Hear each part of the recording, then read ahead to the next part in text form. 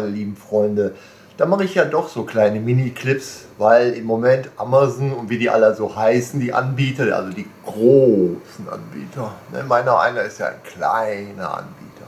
Ja, ich kaufe also bei den großen ein, Chivo. Bei Chivo, das gute Stück hier, ach, ein Hörbuch. Ja, hinlegen, zuhören, macht manchmal auch Spaß, statt immer in die Glotze zu glotzen, geht so auf die Augen. Das geht halt der Genuss auf die Ohren. Der Genuss auf die Ohren durch Chibo. Ne? Alle sechs Episoden, also Episode 1 bis 6. Ja? Die dunkle Bedrohung, Angriff der Klonkrieger, die Rache der Sith, eine neue Hoffnung, das Imperium schlägt zurück, die Rückkehr der Jedi-Ritter. Genial, oder? Ne? Wollte ich euch mal so erzählen. Ist ja Weihnachten 2018. So, und dann ist auch er hier gekommen. Sir Lucas? Nein. Ne? Ah, Luke. Luke Skywalker, Monsieur Hemmel. Ja? Also meiner einer kauft jetzt hier so Art Diaramen ein. Ne? So Diaramen.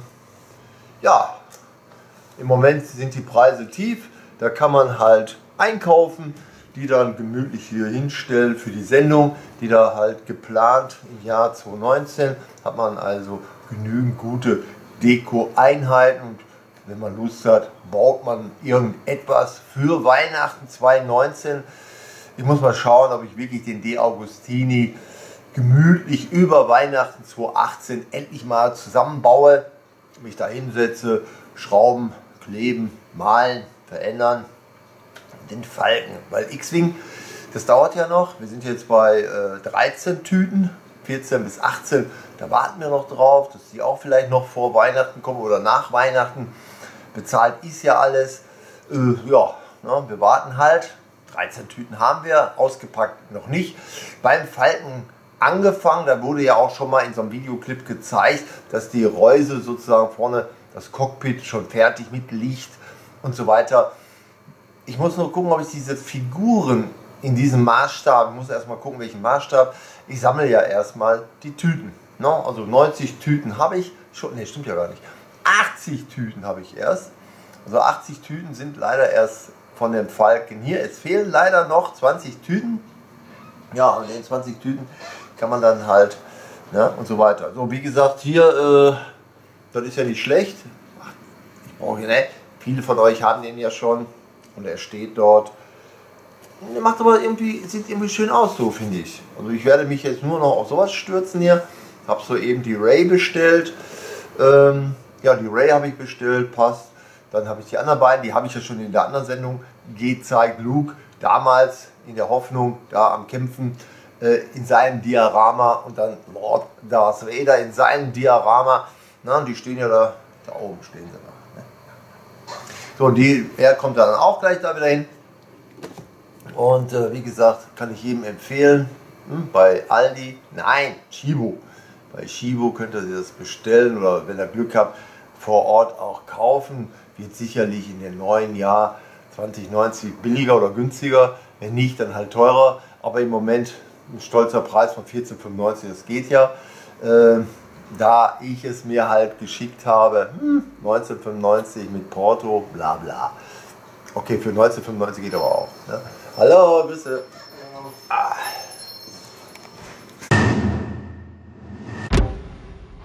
So, gerade frisch reingekommen. Am 25. Dezember soll ein 30-sekündiger Teaser von Star Wars erscheinen. Ist soeben bei Daily Express in Amerika veröffentlicht worden. Wollen wir hoffen, dass es so ist. Das wäre super. Ähm, einige Stars hatten da gerade auch äh, drüber gesprochen in Amerika. Also am 25. Dezember 2018 soll dieser 30-sekündige Teaser Star Wars Episode 9 erscheinen. Somit wissen wir dann den Arbeitstitel. Dann heißt, dann hat er einen Namen. Wie gesagt, vorhin habe ich ja die DVD reingehängt. Hier das Hörspiel, sechsmal, sechs DVDs sind dabei, die ich mir da anhören kann. Können auch CDs sein, je nachdem wie lange die laufen. Ich weiß die Lauflänge gar nicht. Und hat mir also gesagt, so um die sechs Stunden könnte ich mir dann, also sechs Stunden könnte ich mir das anhören. Es sind ja auch sechs CDs oder sechs DVDs. Müsste ich reinschauen, habe ich ja noch nicht geöffnet. So, wie gesagt, Chibo hat mir das äh, kredenzt. Äh, ich habe mir das als Weihnachtsgeschenk zugänglich gemacht. Ich finde es nun mal gut. Ich mag nun mal Star Wars. So, wie gesagt, die anderen Figuren, die stehen jetzt hier schon mal rum. Äh, schauen wir mal. Wir müssen ja halt ein Jahr warten. Dann kommen auch äh, wiederum neue Figuren. Die alten Figuren hängen ja da. Bei mir, wie gesagt, äh, nicht gerade zum Verkauf. Hier rennen sie ja auch nicht ein. Äh, die haben sich halt äh, nur die super Sachen von Kenner geholt, die schon seit über 10, 20 Jahren alt waren. Ist klar, äh, als Schnapper haben die sich das geholt und wenn ich da reinschaue, den AT-AT, den ich da für 55 Euro abgegeben, äh, kostet jetzt mal eben 3295. Nenne ich Schnapper, da ich ja nun mal kein äh, Fan bin, sondern die Sachen verkaufe und einkaufe an sich, ja auch nur für die Sendung, habe ich euch ja auch schon mal erklärt. Hier ist der Gewinner Amazon. Ja, hier gewinnt Amazon, weil ich alles bei Amazon bestelle für die Sendung, damit es schneller geht. Der Postbote bringt mir das oder der Amazon-Bote bringt mir das. Ich hänge das dann da an die Wand oder präsentiere es euch bei der Sendung, so wie jetzt hier. Hau hier irgendwas Schönes in die Greenbox-Fläche ein und äh, hoffe, ihr habt Spaß dabei. Ja, wie gesagt, als Star Wars ihr seid Cosplayer, ihr seid Sammler, ihr diskutiert, ihr seid analog unterwegs.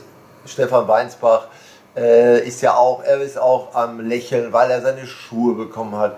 Vielleicht mache ich auch irgendwann mal so äh, Live-Session. Muss ich mal gucken. Weil live äh, habe ich da nicht allzu viel zu erzählen. Bin an sich ziemlich zurückgezogen. Äh, wie gesagt, Hörbücher genießen, die Filme genießen und dann auch schön auf großer Leinwand. Ja, und dann noch zu Hause im Homekino, ist klar. Bei 7.1 Dolby Surround. Ja, alles so, ja, Weihnachten wird also ein ruhiges und äh, wie gesagt ein aufregendes, äh, wenn diese 30 Sekunden wirklich auf Weihnachtstag kommen sollte. Man hat ja rumgeungt, weil Disney sowas ja an sich gar nie so gemacht, aber Disney hat vielleicht mal darüber nachgedacht, warum nicht? Warum sollten wir unseren Fans, unseren Kunden, na, wir sind ja alles Kunden, von Disney und äh, Disney hat es an sich nicht nötig, uns irgendetwas, weil weder ein Fanservice, den haben die auch nicht, Disney, Disney ist an sich ein reines Realprodukt, kommen, geben, amüsieren, sind sehr streng, finde ich auch gut, äh, die da arbeiten mit ihren Kostümen, die müssen darauf aufpassen etc. Alle 30 Minuten müssen den Kopf da mal eben kurz Sauerstoff holen und wieder aufsetzen äh, ob nur als Mickey Mouse, Goofy oder andere Gestalten. Man rechnet ja auch mit 200 Millionen direkt am ersten Tag, wenn der Resort eröffnet wird. Ich glaube, das wird ein riesen Tamtam nächstes Jahr, im Jahr 2019. Wann der Resort geöffnet hat man halt auch noch nicht gesagt. Nur die Convention in Chicago, die ist klar, die ist im April und äh, Datum könnt ihr auch nachlesen. Also die Daten, die stehen, aber wann der Ressort jetzt wirklich aufmacht, diese Daten habe ich leider noch nicht. Und äh, den Arbeitstitel, wie gesagt, von Episode 9 haben wir alle noch nicht. Ähm, einige sind ja froh, dass Ruhe ist, meiner einer nicht. Sorry. Ich liebe Star Wars, ich mag Star Wars, ich könnte mich da reinlegen, 24 Stunden, 7 Tage die Woche und wirklich in Star Wars baden. Ja, richtig baden, gucken, machen, weil es so unheimlich viel Spaß macht also mir macht Star Wars Spaß. Kann sein, weil ich jetzt 30 Jahre für Lucas Art äh, da gearbeitet und die Spiele etc., die Games und das alles als Promoter. Vielleicht deswegen. Aber jetzt habe ich ja die Zeit. Ich habe jetzt die Zeit, mich zurückzulehnen und mir dann Star Wars anzuhören oder Star Wars mir anzusehen. Es gibt ja Star Wars Gott sei Dank noch ein bisschen gemischt. Noch gibt es das gemischt. Und wie gesagt, heute in einem Jahr ist Disney Plus und durch Disney Plus äh, haben wir ja dann alles zentralisiert. Ja, dann haben wir äh, Pixar, Marvel, Disney, Star Wars und äh, da war noch was. Ähm, Discovery kann es sein, irgendein Discovery Channel. Ich habe da vorhin nur kurz mal reingeguckt, weil kann die Startseite von Disney Plus sich ja unter LOL Disney ja anschauen. Unter LOL Disney ist ja alles für Kinder, kann man sich dann aber auch Disney Plus schon anschauen, da steht ja alles. So und äh, ja, die arbeiten halt fieberhaft daran. Die wollen natürlich gut starten mit den realen Serien, die wollen ja uns richtig binden. Und als richtiger Star Wars Freak ähm, Ich bin also nicht jetzt fixiert darauf, Figuren haben zu müssen, äh, Filme haben zu müssen. Ich bin nur darauf fixiert, es wenigstens zu erleben. Ich möchte einfach Star Wars erleben und darum möchte ich auch so eine Sendung machen. Ich freue mich, wenn Star Wars Begeisterte kommen, mit denen man wirklich fachsimpeln kann. Ja, und die auch den Mund aufmachen vor laufender Kamera und nicht schweigen und so tun, als wären sie Star Wars Fan. Ja, ist also ein Star Wars Fan, der nur einen einzigen Helm hat oder ein Star Wars Fan, der nur einen einzigen Flieger da hat, ein X-Wing oder keine Ahnung, wen, was er da gerade hat. Ey, das ist kein und überhaupt sich nicht. Nee, das ist nicht. Also ich habe hier einige Kunden, da macht so viel Spaß. Also wenn wir hier loslegen, über Star Wars reden, äh, Galaxy Adventure etc. und so pp. oder hier die Hörbücher, das macht Spaß. Grüße, hallo.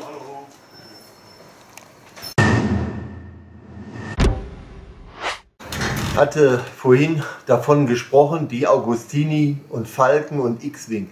So, gerade gesprochen, schwuppdiwupp, bekomme ich hier wie so ein Schichtelchen von die Augustini, weil ich habe das große Glück als Firma, ich bekomme das pro Woche. Also pro Woche. Äh, nein, das ist hier 82, dann kommt 83, 84 und 85 die Augustini. Ne? 85 ist da. Und wieder, wenn man so da reinschaut, ähm, an die Bauteile, ist schon teuer genug. Ihr wisst wie teuer. Das ist also 47,95 kosten diese vier Tüten. Ich lasse die immer hier in diesen Schachtel drin. Diesmal halt so eine dünne Schachtel von der netten Postbotin mir gerade soeben gebracht. Ja, also habe ich das, also ich bekomme die pro Woche. Also ist nicht mehr, also nächste oder übernächste Woche, sagen wir so, am Ende Dezember ist der Falke dann komplett hier und dann kann ich loslegen mit Arbeit und dann freue ich mich heute in einem Jahr, den dann euch zu präsentieren. Haut euch jetzt nicht vom Hocker, ich weiß. Aber ich stelle es dann halt aus und denke mir auch sicherlich da was aus. Deswegen kaufe ich ja auch die anderen Diaramen ein. Also ich finde es super toll, sowas zu basteln im Hörspiel. Hörspiel und basteln, das macht Spaß, so im Halbdunkel oder halt nur an diesem Tisch, wo man arbeitet. Das macht irgendwie gute Laune. Das bringt wirklich gute Laune. Ihr merkt ja, sonst würde ich ja auch gar nicht äh, solche Videoclips machen, wenn ich gar nicht so eine gute Laune hätte. Ja, ist halt so.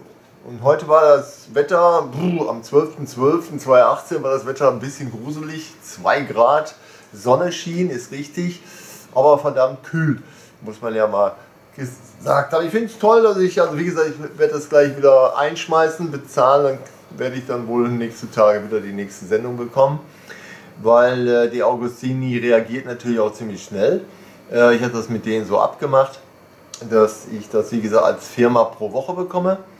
Und sollte ich mal vergessen haben einzuzahlen, ich kann ja nicht dauernd rumrennen hier, äh, dann verzögert sich das. Das haben sie aber auch geschrieben. Sobald das Geld einkommt, zack, kriegst du das nächste, zack, das nächste, zack, das nächste. Ich möchte gar nicht wissen, was die daran verdient haben. Also äh, diese 47,95 als Abo und 55, äh, 95 der X-Wing pro Woche, das zieht schon rein. Also es ist manchmal, ihr könnt ja selber ausrechnen, dass man um die 100 Euro da pro Woche ausgibt für die beiden guten Sachen, Falken und X-Wing. Also Walter Falke erledigt, dann ist nur noch der X-Wing pro Woche. Ja, als Firma. Wie gesagt, als Firma.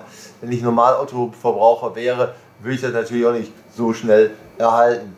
Ist halt so. ich zahle wie gesagt dasselbe wie ihr auch und äh, habe also keinen nennenswerten Gewinn daran. Äh, deswegen möchte ich das auch nicht verkaufen. Ich muss manchmal schmunzeln beim X-Wing, äh, wenn da sehr wenig Teile drin sind, für 13,95, ja, das haut schon rein. Zumal man das Diorama ja gar nicht bekommen hat. Also ganz große Trickkiste. Äh, bis heute habe ich kein Teil fürs Diorama bekommen. Nur so ein, so wie alle anderen auch. Die haben eine Entschuldigung bekommen, dass die da irgendwelche Schwierigkeiten haben mit diesen Dioramen. Also es fehlen die gesamten Zubehörteile, wo der X-Wing getankt wird und so weiter, gewartet wird. Sieht ja auch toll aus. Ja, und wenn man dann drumherum vielleicht noch LED-Lichter einarbeitet, vielleicht auch noch blinkt, ähm, wird es halt noch schöner. Ihr merkt, man kann also eine Menge machen. Ich werde sicherlich auch eine große Plattform bauen fürs Schaufenster, wo dann der Falke dann nachher so aufsitzt. Vielleicht noch so eine leichte Dramaturgie darum, diese Wolkenstadt ja, von äh, Han Solo, ähm, nicht Han Solo, sondern äh, Carissian, ne? Hando Carissian, ach ich liebe die Wörter, ach, ich, ich liebe die Dramaturgie, wo die die ganzen Namen her haben. Mandalorianer, Mandalore, Wahnsinn. Also ich freue mich schon auf, auf Disney, ich freue mich schon auf diesen Teaser zu Weihnachten, meine lieben Freunde, ich freue mich wirklich. Ich freue mich jetzt auf Samstag auf Resistance. Ist, haut einen nicht vom Hocker, ist klar, weil zu viel Werbung da reingepropft wird. Aber für die paar Minuten am Frühstückstisch, Käfchen trinken, arbeiten. Wie gesagt, ich arbeite sieben Tage die Woche. Ich bin in äh, Star Wars sieben Tage, 24 Stunden ja, involviert. Ich gucke wirklich, der erste Satz ist, was, was ist Star Wars News? Na, gucken, äh, übersetzen, überlegen, posten, nicht posten. Ähm, ja, dann überlegen, soll ich jetzt aufstehen? Ist auch Arbeit. Es ist Arbeit, die Sachen hier auseinander zu friemeln, ja, die Sachen auseinander zu friemeln und dann zusammenzusetzen, ja. Also Bau der Minellenfalken Model Space. Also ich freue mich schon drauf. Ich meine, das Metall, viel Metall, also der wird schon schwer. Also die, die ihn schon gebaut haben, äh, die kommen ja auch klar damit, ne? ist klar. Ob ich den, ob ich den anmale, ich weiß nicht, ist ja an sich angemalt. An sich reicht es ja. Ich muss ihn ja nicht.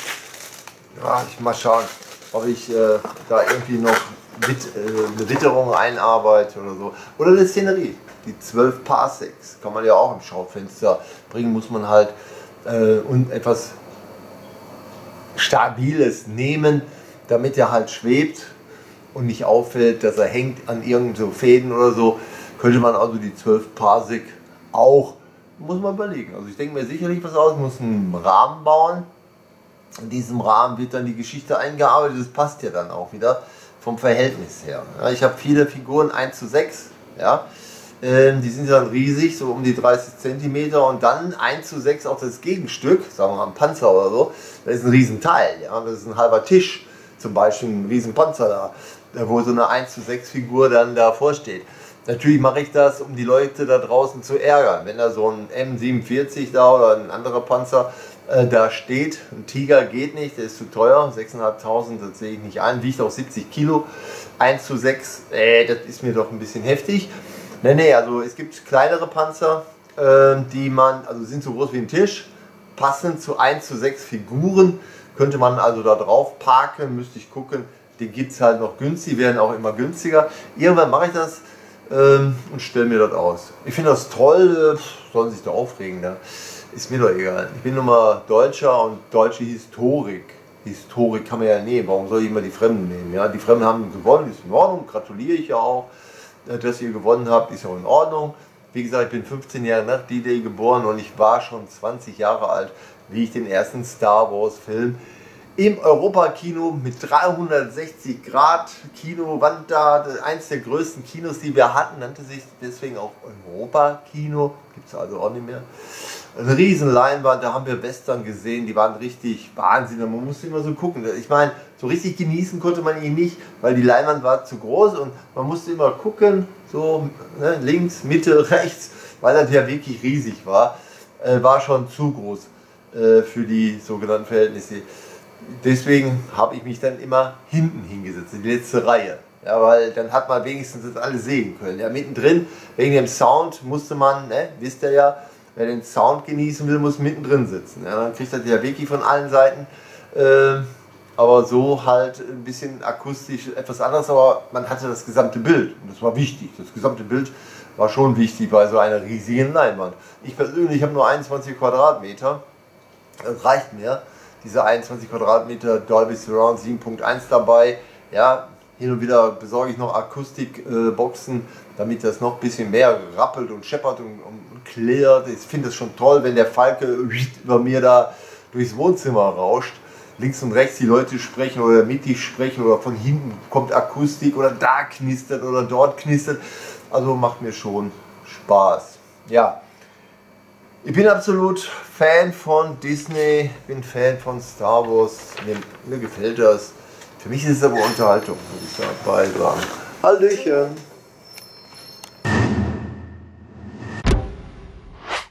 So, heute war der 12.12.2018 und wir sind immer noch die Star Wars Freunde von A bis Z hier im Shop.